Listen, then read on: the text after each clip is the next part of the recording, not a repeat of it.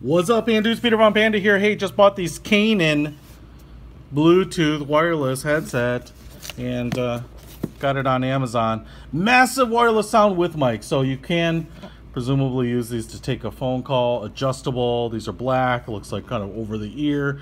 Comes with the USB cable and all this jazz. Just want to show it to you and quick give you my thoughts on sound quality, which is never going to be the easiest thing. Uh, bought them because they looked kind of cool. I kind of dig this orange thing. I mean, that's the, I saw them on Amazon. I was like, oh man, those kind of look cool. And the probably the most important thing about it is I showed you another pair of headphones that I just bought, JS-BASE headphones. I think these are maybe actually by the same company, so I really like them. I can see a lot of carryover in similarity.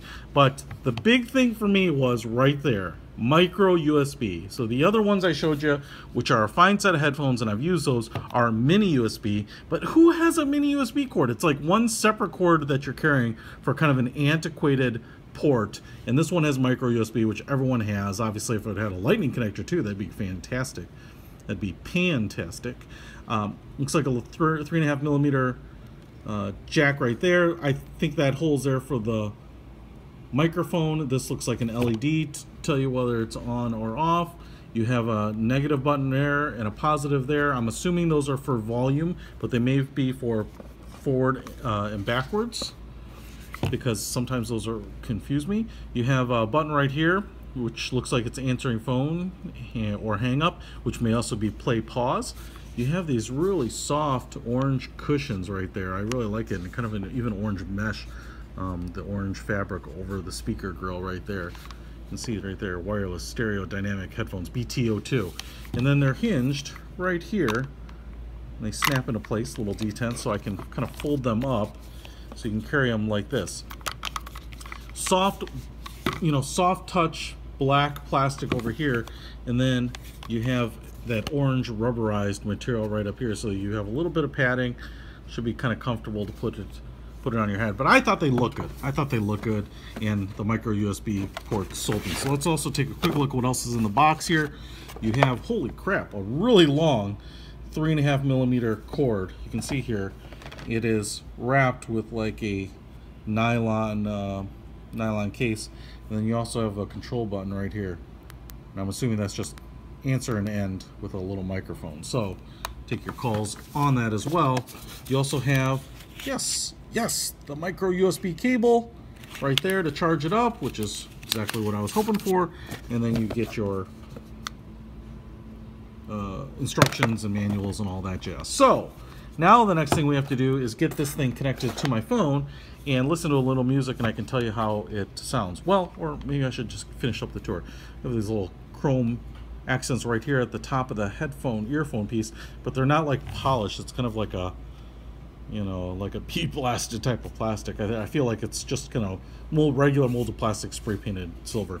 And then you can see here that the headphone is kind of mounted inside this ring that just holds it in place because if I move the headphone, you get the whole uh, piece moving there. Very much like the Beats by Dre headphones.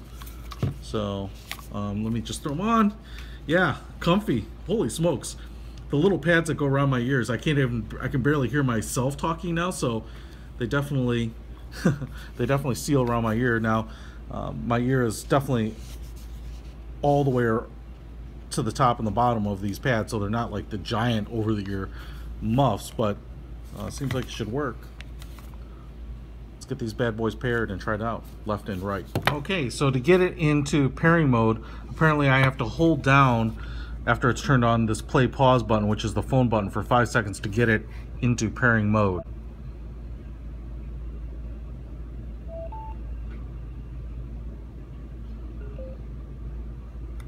All right. So you hold down that phone button for five seconds. It turns on, flashes blue, and then flashes red.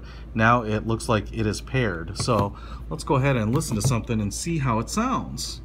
Okay, in terms of function, this phone button is also the play pause. So if I hit it again here, we're gonna pause the song. If I hit it again, it's gonna play.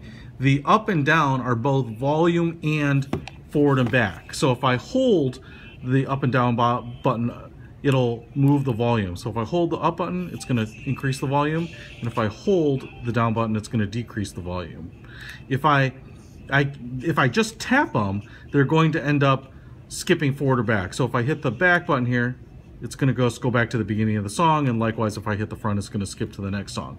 So you have all your controls, and what I've kind of noticed is that since this is the right side, it's kind of nice if you're left-handed, it's going to be really comfortable, but even though I'm right-handed, when you reach up and put this, uh, grab the headset on the your left side here, it's really easy to get your thumb, you know, these buttons are really in the, uh, the right position to play pause, or advance, or change the volume. So it's kind of kind of clever that they put these on the back here where your thumb is naturally going to be. So I'm actually pretty impressed with that. Overall, the the music quality is pretty good and I'm shocked at how well these kind of padded earphones block out the rest of the sound so you can hear a lot of minute detail in the music. I actually love the way they look.